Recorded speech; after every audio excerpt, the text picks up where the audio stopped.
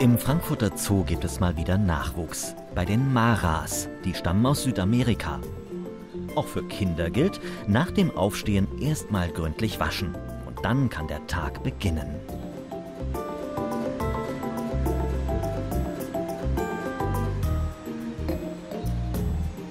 Da kommt auch schon der Tierpfleger. Der heißt Walter. So, ich will mal nach meinen Kleinen gucken. Also wir haben jetzt hier Maras und die haben halt jetzt zwei Babys. Da ist im Moment nur einer draußen. Na gut, der zweite wird auch noch rauskommen. Ah, da kommt er ja wieder.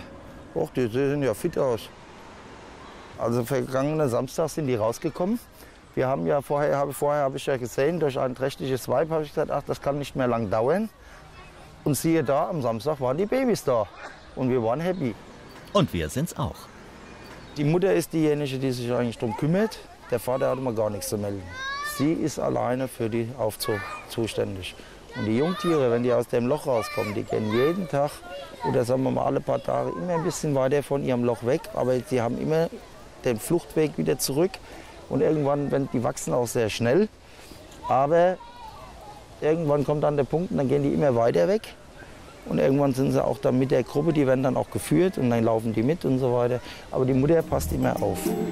Ja, mit dem Aufstehen ist das so eine Sache. Da kann auch Mutter nicht helfen. Uff, endlich geschafft.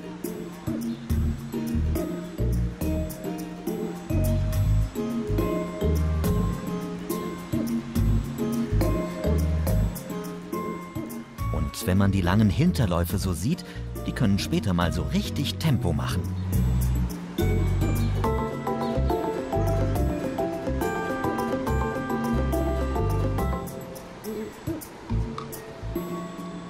Walter, wohin geht's jetzt? So, jetzt gehen wir zu dieser Wurfhöhle und gucken mal, wie das Loch aussieht. In Wirklichkeit will er natürlich Mara-Babys gucken. Guck mal, ist das fein? Na, du bist aber ein Feiner. Hi, Schätzchen. Der andere sitzt auch hier oben. Der ist auch in dem Loch drin, der andere. Och, jetzt geht er rein, hä? Ja, guck mal, sind alle beide da. Guck. Und wie cool die sind. Ganz in Ruhe umgucken und dann so ganz allmählich rein ins Loch. Erstmal ein Nickerchen und von Walter erholen.